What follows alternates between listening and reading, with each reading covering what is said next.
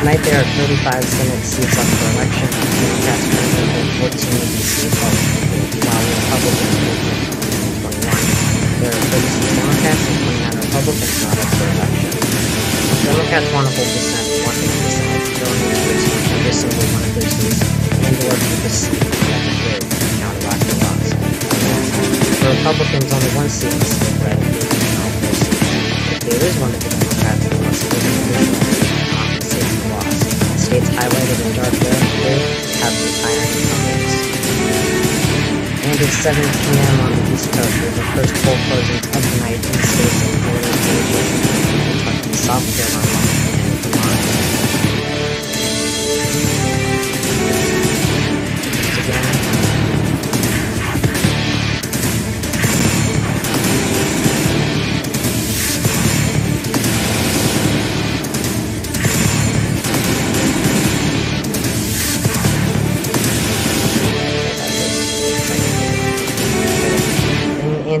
can project the Republican audience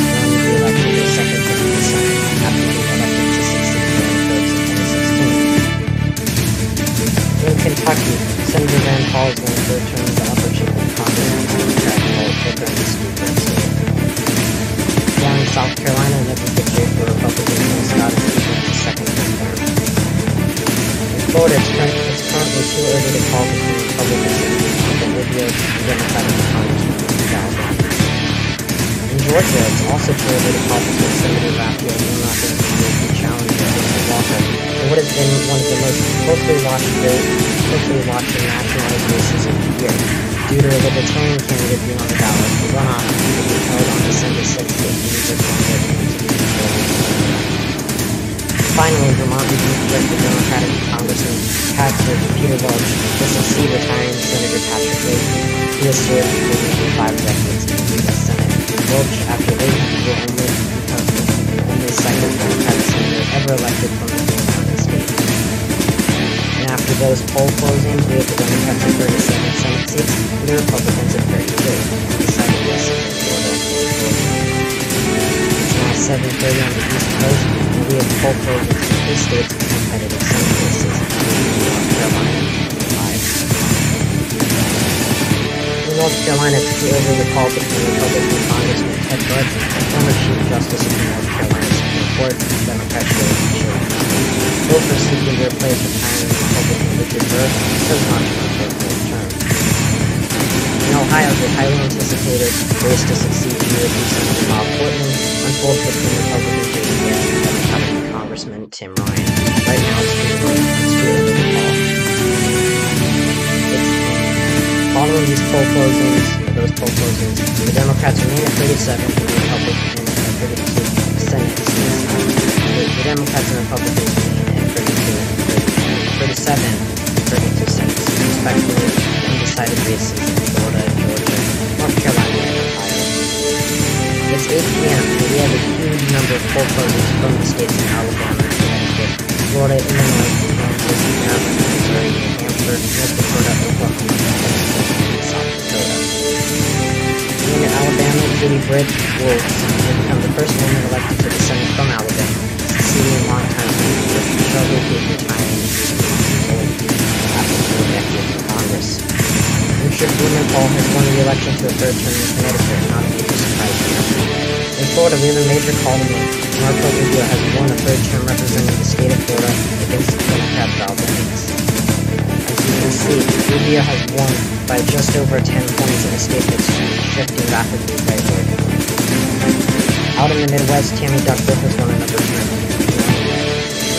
In Kansas, Jane will handle the the election. In Maryland, Kristen Holland has won another term representing this state. In Missouri, Attorney General Eric Schmitt will succeed Senator Joe Blunt, defeating Democrat Senator In Republicans tried in governor the nomination out of fear of being dangerous The party succeeded in lockdown In New Hampshire, the race between Democratic Senator Maggie Hassan and Republican Don Bola was playing out in a state that often swings by large margins between elections. Joe Biden won the state by seven points in 2020, but Hillary only won, only won the state by 2,000 votes in 2016. We'll have to see if that translates to a for now, is. In North Dakota, John Hoeven is going to be elected to the second term. We also have an update um, in Ohio, 25% of the voting. Tim Ryan is leading by two or two and a half points right now. We should expect the race to narrow up and for Vance. In Oklahoma, GOP Senator James Lankford has won second term. And also in Oklahoma, Congressman Mark Warren will succeed longtime Senator Newman Hoff, who is the of the current congressional session in next year. In Pennsylvania, one of the most competitive races of the night between Republican at odds with Democratic Controller Governor John Fetterman's jury called. Oz and Fetterman, who are both running to replace Republican Pat Toomey, have been perhaps the nastiest pair in campaigns this year. Fetterman has criticized Oz for his attitude in running for office in the state president in for life. On the other hand, has called into question Fetterman's ability to serve after the latter suffered a stroke just days before the state's primary. Finally, in South Dakota, John McCain will uh, win a fourth term Senate. After those poll closings, the Democrats and Republicans sit, sit tied at 40 seats. In Georgia, New Hampshire, North Carolina, Ohio, and Pennsylvania called. It's 8.30 on the East Coast, and we have one poll closing from the state of Arkansas. In Arkansas, Republican John Rosen will win the election in a landslide in this overwhelmingly Republican state. And after this, this poll closing, Republicans had 41 seats while Democrats remain at It's 9 p.m. on the East Coast, and we have another batch of poll closings from Arizona, Colorado, Iowa, Kansas, Louisiana, New York, North Dakota, South Dakota, and Wisconsin. In Arizona, it's too to call between Democratic Senator Mark Kelly and his Republican counterpart, Rick Masters. Colorado, Senator Michael Bennet and Republican Joel O'Dea face an offering that some pundits have described as a sleeper race. O'Dea is the unique candidate for the GOP this Senate cycle, as he says he supports same-sex marriage and some abortion rights. Right now, the race is too early to call. We have an update um, Georgia, 55% of the vote reporting. The race is too close to call, with Herschel Walker holding a half-point lead over Senator Warnock. The leader candidate has yet reached a majority of the vote. We'll have to see if that changes. We can project that Chuck Grassley has yet again won the election representing the state of Iowa. Grassley has been serving in the Senate since 1980 and has been able to win his past three elections strong support from both sides of the aisle. However, he has seen the size of his margins shrink in recent years, likely due to his progressive age. Now at 89 years old, Grassley will defeat Democrat Michael Franken by 13 percentage points. In Louisiana, Republican John Kennedy, who's no relation to the former president, has been reelected for the second term. In New York, Senate Majority Leader Chuck Schumer will win the sixth term. However, it's not yet clear who will retain that status for the next two years or return to the. Cheri Beasley currently leads by a point over Ted Budd in North Carolina, with almost half of the vote is still too close to decide now too close to call. Uh, New Hampshire, Maggie Hassan leads Don Bolduc by about a point with 45% of the vote in. With 43% of the vote in, it's too close to call in Ohio, and J.D. Vance has taken a one-point lead over Tim Finally, in Wisconsin, the race between GOP Senator Ron Johnson and Democratic Lieutenant Governor Mandela Barnes is too early to call. Now Republicans lead Democrats percentage control of 43 seats to the Democrats' 41, with nine races undecided. It's now half past the hour, and we have some key updates for some Senate races. In Arizona, Mark Kelly holds a lead of six points over Blake Masters with 54% of the vote. 65% of the vote in Colorado. Can project that uh, Michael Bennet has won re-election third term against Joe O'Dea. As shown on this screen, Bennet has defeated O'Dea by a margin of 8 points across the state. In Georgia, Raphael Warnock has erased Walker's lead, now holding a lead of 0.6 points, with 68% of the vote reported. New Hampshire remains too close to call with 67% of the vote in, as Hassan now leads Bolduc by 2 points. Ted Budd now leads very easily by 2 points in North Carolina with 73% of the vote. We now have major make in Ohio. 81% of the vote in, J.D. Vance has been projected the winner, beating Democrat Tim Ryan to succeed Rob Ford. The National public Republicans spent millions of dollars trying to prevent a loss in this state. Vance has defeated Ryan by a margin of six points, less than Donald win 22 years ago, but decisive victory nonetheless. To the east in Pennsylvania, Oz leads John Fetterman by three and a half points and two-thirds of the vote counted. And finally, with 50% of the vote, Mandela Barnes holds a uh, holds a razor-thin lead over Ron Johnson in Wisconsin. Republicans now have 44 seats to the Democrats, 42 seats uh, after we called Colorado and Ohio. It's 10 p.m. on the East Coast and we have four closings in Idaho, Nevada, Oregon. In Nevada, it's clear that it called a race between Democratic Senator Catherine Cortez Masto and the GOP challenger, former Attorney General Adam Laxalt. The race may be the Republican Party's best offer to pick up opportunity in the Senate, as Laxalt is the strongest GOP candidates fielded this cycle. In Utah, GOP Senator Mike Lee has third term against independent for his counted. Democrats actually decided not to not field, uh, not, not to nominate a candidate. In fact, McMullen would increase the chances of House Speaker. As you can see, though, he has defeated McMullen by a margin of about 17%. The Democrats remain at 42 seats, and Republicans are now at 35. Now it's 11 p.m. on the East Coast, and we have poll closings in California, Idaho, Oregon, and Washington. In California, Senator Alex Padilla has won his first term in the Senate after replacing Kamala Harris in 2021 after she resigned to take the vice presidency. In Idaho, Mike Frico will win, will win re-election for his fifth term in the Senate. Ron Wyden has been re-elected for his fifth term in Oregon. In Washington, Democrat Patty Murray has won his sixth term against Republican Tiffany Smiley for the reporting. There's some speculation that this race might be more competitive than expected, since Murray has faced strong challenges in the past. Um, that being said, she has won by a comfortable margin of 11 points. Now the Senate stands at 45 Democratic seats and 46 Republican seats, with seven races yet to be called. It's now midnight on November 9th on the East Coast. It is uh, Wednesday morning, and we have one poll closing from Hawaii. In Hawaii, Senator Brian Schatz, who was appointed in 2012 to succeed the late Senator Daniel Inouye, has won the election to a second full term. Democrats and Republicans are now tied at 46 seats for control of the Senate. It's 1 p.m. on the East Coast, and we now have our final poll closing of the night in the state of Alaska. Alaska, Republican Senator Lisa, Lisa Murkowski, known as one of the most moderate GOP senators in the country, uh, is being challenged by Coach Baca, um, Trump-endorsed Republican challenger. Murkowski is described by most as a favorite, but it's too early to the race. We have an update on Arizona. With 87% of the vote reporting, Mark Kelly holds a two-point point lead over Blake Masters. We'll have to see if Kelly um, is able to maintain this lead as the final results from the rural areas in.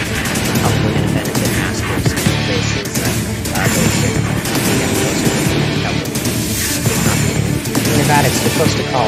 Adam Laxalt beats Cortez Masto with a point by, um, by a point with 58% of the vote in. We now have we now can make a major call in New Hampshire. With 98% of the vote counted, Mike Hassan has won re-election for the second term, defeating Republican Don Bolduc. Has defeated Bolduc by about 3 percentage points in a state divided won by 7. Still a pretty close election, but Democrats are nonetheless, um, nonetheless have won this seat in Virginia. Uh, in North Carolina, we can project with 95% of the vote reporting that Ted Budd has won the race to succeed Richard Burr, beating Democrats very easily. As you can see, Budd is defeated easily by 5 points across the state, holding the seat.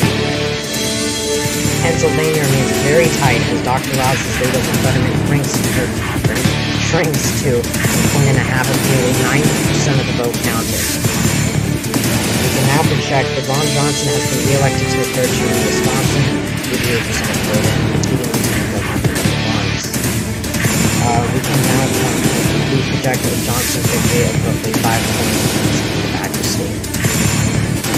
After those races, the Senate map includes 47 Republicans and 47 Democrats, five uh, races to be called. Good morning, everyone. It's 8 a.m. on the East Coast, and we have encountered winner in another battleground state. In Arizona, this is a big win. Senator Mark Kelly is the apparent winner with 99% of the vote reporting, defeating Republican Blake Masters. Kelly is going to go on to serve his first full term in the U.S. Senate after being elected two years ago in the 2020 election um, to fill uh, Masters, however, uh, even though Masters closed the gap significantly in the final of the campaign, uh, it was not enough for him. It appears it was not enough for him to oust the Democratic incumbent as he's lost by 0.8%. With that call in Arizona, both parties are once again tied at 48 seats. Um, only Alaska, Georgia, Nevada, and Pennsylvania remaining undecided. It's November, uh, it's 10 a.m. on, uh, 10 a.m. on the East Coast, and we have a race alert. Uh, Alaska was 98%, 99% of the vote in. Um, uh, the, the Senate race is going to go to a second round ranked choice vote. Um, Murkowski, uh, as you can see, Murkowski only leads Tshibaka by 0.87, by 0.8%, but the ranked choice result is likely to heavily, heavily favor the GOP incumbent. There's no changes for the Senate map after that update on Alaska. Uh, we have major calls to make at noontime. In Nevada, with 99% of the vote counted, Adam Laxalt is the apparent winner, defeating Democratic incumbent Catherine Cortez Masto. Nevada is a state that for the last decade the GOP has consistently targeted without much success. However, Laxalt will break that record along with the election of Joe Lombardo as governor. Laxalt um, defeated Cortez Masto by about by a little over um, by a little over excuse me, by 0.36 um, percentage points. Though this result could change um, if there is a um. Meanwhile, Georgia's Senate race is headed to a runoff on December 6th. Um, results show Warnock and Walker admit that they will have to wait for the runoff next month as neither candidate won a majority of the vote. This will definitely a very important. Pennsylvania, with 98 or 94% of the vote counted, is still too close to call. Oz barely leads Fetterman as we receive results from a Philadelphia heavily Democratic area, but it's um, still unsure if that's going to be enough to throw Lieutenant Governor Fetterman over the top. With the call in Nevada, Republicans are now at 49 seats, just two away from the magic number of 51 they need to reclaim the upper chamber of Congress. Uh, Democrats are still at 15. Uh, and now, now it's um, it's uh, 1 p.m. on Friday, November 11th, a couple days after the election, we have a major projection to make for the Senate. We can project that Mehmet Oz is the apparent winner in Pennsylvania, 99% of the vote in. Oz will hold the seat for the GOP, succeeding Senator Pat Toomey, and defeating the Democratic nominee, Lieutenant Governor John Fetterman. Oz eked out a razor-thin victory over Fetterman, but there, um, but there will be an automatic recount since the margin is under half a percentage point. After that call in Pennsylvania, Republicans have reached 50 seats, and uh, since Alaska's second round of ranked choice voting just has two Republicans, uh, the GOP is all but sure to control the U.S. Senate at this point in time, although we don't have a single winner for that race. Uh, it's 6 a.m. on November 15th, exactly one week after Election Day. We have a major call to make for the Senate. We can project that the Republican Party will win back control of the U.S. Senate as they have now won 51 seats, erasing the 50-50 tie that Vice President Harris broke in favor of the Democrats uh, for the past two years. Mitch McConnell will reclaim the title of Senate Majority Leader in January when the next we're projecting this because in Alaska, Lisa Murkowski has won the second round of ranked choice voting, defeating the Trump-backed uh, challenger Kelly Tshibaka. Um, Tshibaka had lost to Murkowski by about uh, 13 percentage points in the 49th state. After that call in Alaska, Republicans sit at 51 Senate seats while Democrats remain at 48. The only race, remaining race is down in Georgia, where, will see that runoff occur on December 6th in a couple of weeks. Today is, uh, today is um, December 6th, 2022. It's currently 7 p.m. on the East Coast, and it's the day of the Georgia Senate runoff between Senator Warnock and. We can project with every single vote counted the Raphael Warnock has defeated Herschel Walker in this round, hoping to see for the Democrats for the next six years and getting full term, his first full term in the U.S. Senate. Um, Warnock barely came out on top against Walker, only defeating him by uh, 0.6%. The final Senate map includes 51 Republican Senate Republican seats and 49 Democratic seats. The GOP gained Senate control by retaining, uh, by holding on to all of their seats as well as flipping the, um, Nevada from, red. All Democrats hold on to their seats in Arizona, Colorado, Georgia, and New Hampshire. Thank you all for watching this election night. I'm sorry if uh, you were hoping to see an election night um, MSNBC graphics, but I just, you know, and I'll try to do that in the future. But I wanted to get this election night out to you guys. I've spent uh, quite a bit of time working on it, updating, updating it along with my um, projections. A lot of stuff has changed. Um, um, uh, but I'll, I'll make sure um, to, uh, I'll be sure to um, cover the election uh, later, you know, after uh, Tuesday and uh, see the final results, see what I got right and what I got wrong. Uh, be sure to like um, the video and subscribe to the channel. Check out my non-political channel, Interactive 127, and my comrades channel, Galaxy 666. Also, tell me down in the comments below which party you expect to win Senate control on Tuesday, or, you know, possibly later, if you not have all the results in straight it. Um, yeah, uh, we'll see how accurate my prediction was. I'll see you guys next time when I talk about all things politics. See ya.